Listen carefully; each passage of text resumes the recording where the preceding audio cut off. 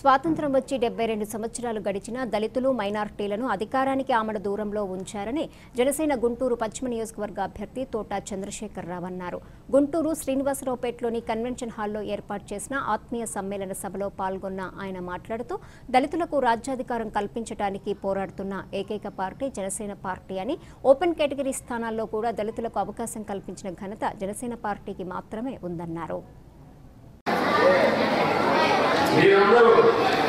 గొప్పగా ఉంది నాకు చాలా ఆనందం కలిగింది. మీ అందరికీ ఒక విషయం చెప్పదలుచుకున్నాను. ఇప్పటిదాకా అంటే మనకి స్వాతంత్రం వచ్చి డెబ్బై రెండు సంవత్సరాలు అయింది.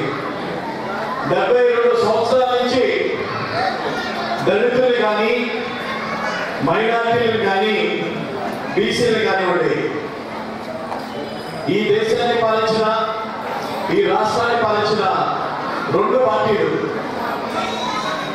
అది కాంగ్రెస్ పార్టీ కానివ్వండి మన రాష్ట్రానికి వచ్చేసరికి తెలుగుదేశం పార్టీ.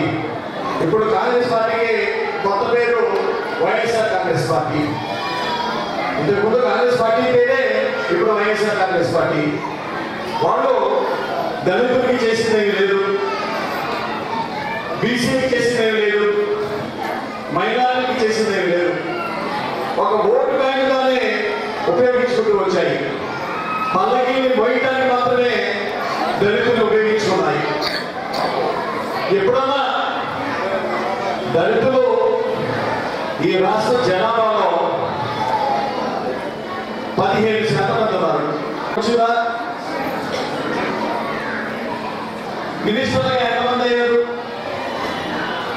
కార్పొరేషన్ చైర్మన్ ఎంతమంది ఉన్నారు ఉన్నత పదవులు ఎంతమంది ఉన్నారు పదవులు వచ్చేసరికి అధికారం వచ్చేసరికి సీట్లు వచ్చేసరికి అవన్నీ మన చంద్రబాబు నాయుడు గారికి వారి బంధుగణానికి వారి కుటుంబ సభ్యులకి వారి అనుయాయులకి వీళ్ళకే అధికారం. లేదా